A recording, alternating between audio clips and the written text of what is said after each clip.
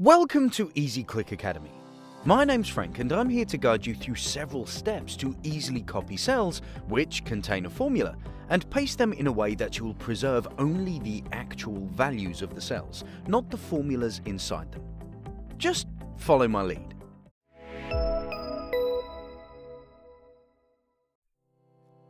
Last time, we made a data table in which we combined information from several cells in one cell.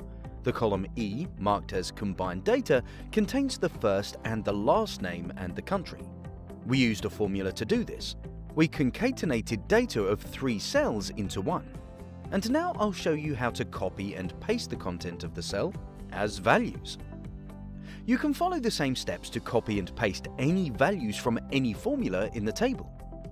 In the beginning, have a look how Excel works with formulas. If you simply copy and paste a cell containing a formula, it's the formula that will get pasted into a blank target cell, like this.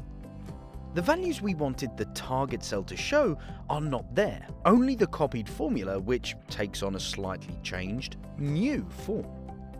Why did it happen, and how formulas get copied? We'll have a closer look at that in other tutorials. There are certain rules how copied formulas behave, and it's definitely good to know them. But what we want to focus on now is how to copy only values. In this case, it's the combined text itself. Start with selecting cells containing the values you want to copy. In this case, it's this group of three. Use a right click to see a menu with options and choose Copy. Now pick a location for pasting the values. Then do a right click again, click on Paste Special and choose the option Values. Well done! You've just copied values from selected cells. There's no formula here in the target cell, but only the text itself, which is just what we wanted.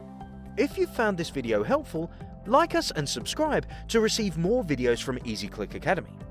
Watch more videos that help you use Excel quick and easy.